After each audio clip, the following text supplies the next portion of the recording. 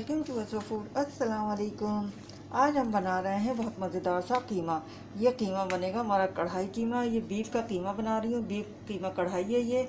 लज्जत में ये ऐसा होता है, एक बार आप खाएँगे तो दूसरे तमाम कीमों को भूल जाएँगे। बीफ का कीमा वैसे भी अच्छा बनता है और एक बार आप खाएँगे तो फिर दूसरी कढ़ाई को आप इंशाल्लाह भूल ही जाएँगे। ये बहुत ही मज़ेदार बनता है। शुरू करते हैं। कीमा मैंने 500 ग्राम आधा किलो के करीब लिया है। इसमें हमें नमक चाहिए वन टीस्पून हल्दी, एक चौथाई टीस्पून जीरा हाफ़ टी स्पून अदरक जाएगी हमारी इसमें साबित।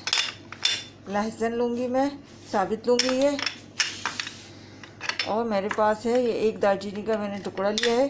थोड़ी सी लौंग थोड़ी सी काली मिर्च, एक बड़ी इलायची, दो छोटी इलायची और तीन से चार मेरे पास है लौंग। हमें ये वाली मिर्चें लेनी हैं। ये मैंने लंबी वाली लाल मिर्चें ली हैं। और एक दरमियाने साइज़ की मैं प्याज लूँगी। चार मैं टमाटर लूँगी, ये छोटे टमाटर हैं तो मैं पाँच ले लूँगी। अगर साइज़ में आपके बड़े हों तो आप तीन लें या उससे छोटे हों तो चार लें। ज़्यादा टमाटर नहीं जाएँगे इसमें। हरी मिर्च चाहिए हमें, हरा धनिया चाहिए। आधी मैं अदरक इसमें अभी डाल दूँगी, आधी हम गार्निश में इस्तेमाल करेंगे। चलें शुरू करते हैं। सबसे पहले मैं इसमें कीमे में प्याज कटिंग करूँगी। आप प्याज को मोटा मोटा रफली कटिंग कर सकते हैं, ज़रूरी नहीं आप बहुत बारीक करें। ये बीफ का कीमा है, गलने में थोड़ा सा टाइम लगेगा, मैंने बहुत मोटी मोटी सी काट दी हैं। अब मैं डालूँगी सबसे पहले इसमें हल्दी, नमक। मैं थोड़े से डाल रही हूँ इसमें लहसुन और थोड़े से मैंने बचाए जो मैं कटिंग करके, चॉप करके इसमें डालूँगी। ये हमने डाल दिया है और साथ ही मैं ज़ीरा डाल दूँगी। गरम मसाले हम जब आधा हमारा गल जाएगा उस वक्त हम इसमें शामिल करेंगे। मैं रखती हूँ इसको इस वक्त पकने के लिए। एक गिलास मैंने पानी ले लिया है। इसको मैं गलाने के लिए अभी रख दूँगी और एक कप हमें चाहिए इसमें ऑयल। ऑयल हमारा इसमें थोड़ा ज़्यादा जाएगा तो ये कीमा अच्छा लगता है कढ़ाई कीमा। इसके बाद मैं आपको दिखाती हूँ जब ये गल जाएगा पंद्रह से बीस मिनट के अंदर मिल, मिलते हैं। तकरीबन हमारा कीमा गलने पर है। अब मैं इसमें डाल दूँगी चार मैंने छोटे साइज़ के टमाटर थे, वो लिए हैं। मैं ये गरम मसाला डाल रही हूँ। और साथ ही मैं डाल दूँगी ऑयल इसमें। इसके बाद हम करेंगे हम हरी मिर्च की तैयारी।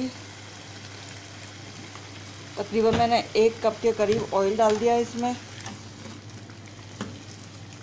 बाकी जो इसके कीमे की कसर थी गलने में, वो इसके टमाटर के पानी में गल जाएगी। मैं करती हूँ हरी मिर्च की तैयारी। साथ ही मैंने ये लाल मिर्च डाल दी है, क्योंकि हमने शुरू में इसलिए नहीं डाली थी बहुत ज़्यादा ये टूट जाती।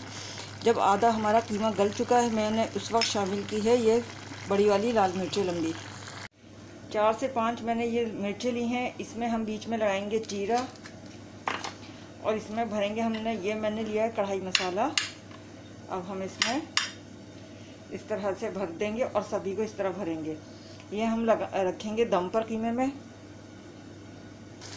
कीमा तकरीबन हमारा पकने पर है। बस हल्का सा पानी इसका खुश्क होगा तो इसकी भुनाई करेंगे। फिर उसकी में हम डालेंगे हरी मिर्चें, जो हमने कढ़ाई मसाले के साथ भरी है, धनिया। कीमा हमारा अच्छा सा तैयार हो चुका है। इस वक्त पानी भी खुश्क हो गया है। इसमें मैं डाल रही हूँ।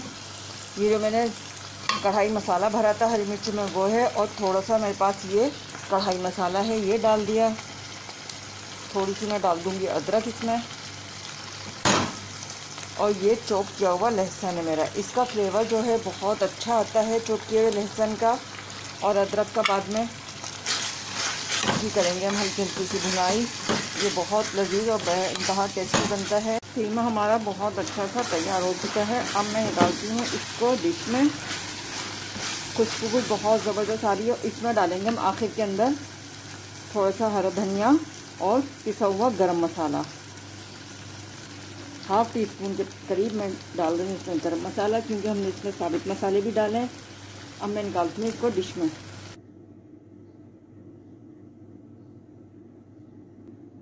अब मैं निकालती हूँ इसको डिश में। बहुत ज़बरदस्त खुशबू बहुत अच्छा है। आप बनाएँगी आपका भी बेनतहा मज़े का बनेगा। थोड़ा सा ये डिफरेंट हो, होता है कढ़ाई का। कीमा हमारा बिल्कुल रेडी है बेनतहा मज़े का बना है। तो आप भी ज़रूर बनाइएगा, ट्राई कीजिएगा, इंशाल्लाह आपकी भी रेसिपी बहुत अच्छी बनेगी। ये थोड़ा आम कीमे से थोड़ा सा डिफरेंट बनता है, बहुत मज़े का लगता है। इसको आप चपाती के साथ खाएँ, नान के साथ खाएँ या घर की रोटी के साथ खाएँ, सभी के साथ ये बहुत अच्छा लगता है। मिलेंगे फिर किसी अच्छी रेसिपी के साथ। उस वक्त तक अल्लाह हाफिज़, अपना बहुत सा ख्याल रखिएगा।